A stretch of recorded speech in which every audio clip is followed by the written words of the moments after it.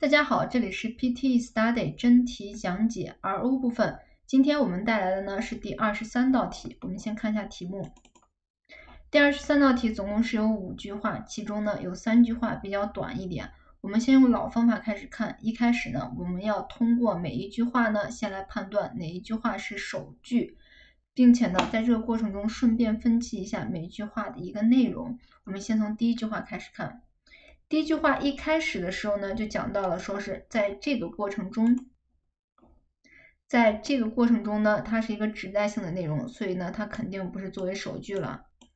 接下来我们从意思上来看，讲了什么呢？在这个过程中呢，个人可能会忘掉信息的来源，信息的来源可能会被忘掉，这是这句话的一个主要的一个意思。接下来我们再看第二句话，第二句话讲的是呢，当然。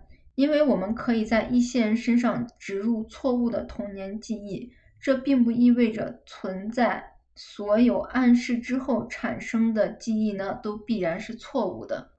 第二句话主要是说一开始呢就有个 of course，如果没有 of course 的话，很少 of course 是坐在首句，所以说呢我们这句话呢它也不是首句，他说了。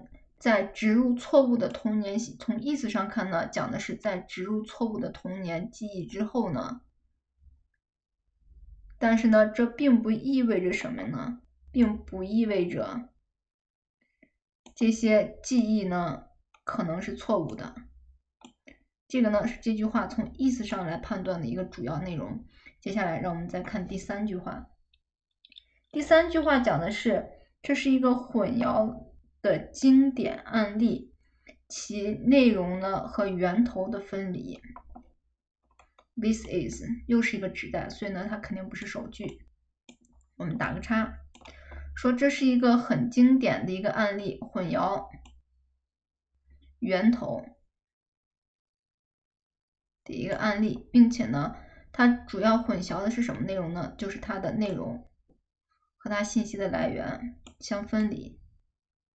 我们可以大致记一下每句话的意思。接下来，我们在过完每句话的内容之后呢，我们就可以大概捋一下每句话的一个顺序。接下来，我们再看第四句话。第四句话一开始的时候就讲到了，换句话说，我们知道如果有“换句话说”这个词组出现的话呢，那它肯定是跟在某句话之后，并且呢，将那句话的内容呢换一种方式来呈现。我们来看一下这句话，它主要说了什么。他是说呢，尽管创造虚假记忆，创造虚假记忆的实验工作可能会让人们对长期埋藏的记忆，比如反复的创伤的有效性产生怀疑，但它绝对不能证明这些记忆是错误的。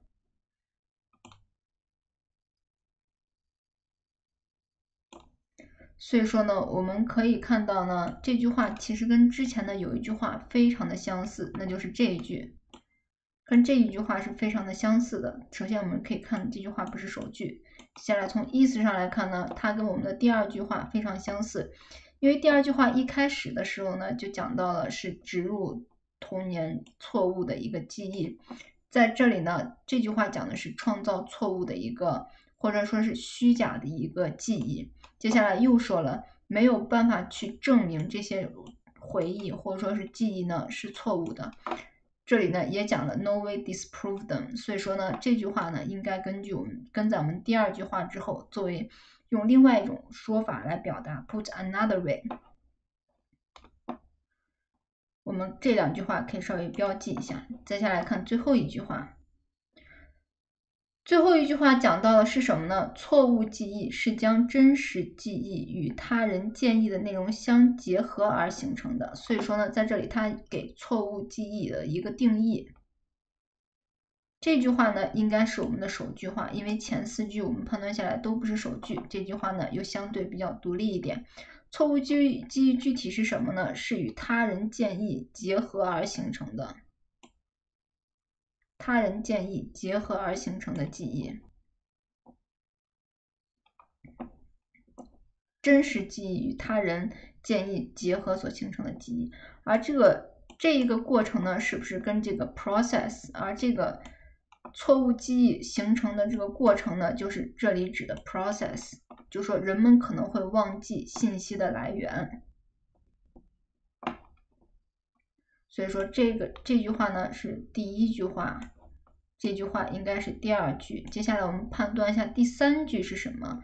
这两句话的顺序我们已经判断出来了，我们试着看第三句是不是这一句话。我们先标上它。第三句时候又讲到了，说是这是一个经典的案例，就是信息信息或者说是源头混淆的经典案例。这里呢，其实跟在应该是跟在第二句话之后，就是说是人们会忘记信息的来源，都是 source。我们可以看到，接下来呢，看一下哪句话是第四句，那这句话就应该是第四句，这句话就应该是第五句。好了，让我们现在现在排序一下，大致看一下这样子对不对？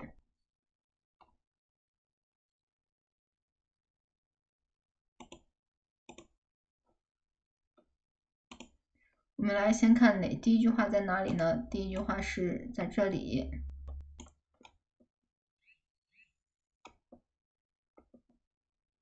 接下来呢是。第二句话，第三句话，第四句话，第五句话，我们来把这五句话再过一遍。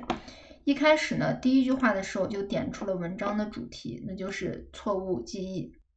它是怎么样形成的呢？它形成的过程是真实的记忆和一些被 suggest content 别人建议的内容所混合之后所产生的，而在这个。过程之中呢，在这个混合产生的过程之中呢，人们很有可能会忘掉信息的一个来源。这是一个很经典的案例，就是来源混淆的一个案例。当然了，这个混淆主要是混淆在它的内容呢和它的源头是相分离的。当然了，因为我们呢知道呢。我们可以在一些人身上植入错误的童年信息，植入错误的童年信息，但这并不意味着呢这些回忆呢就是虚假的。换另外一句话来说呢，那就是说，尽管创造虚假记忆呢会让人们产生怀疑，创造虚假记忆呢会产生怀疑，但是，但是呢，我们并不能去否认它的这些记忆是错误的。这句话呢是跟在这句话之后的。以上就是这篇文章的一个大致内容。好了，谢谢大家。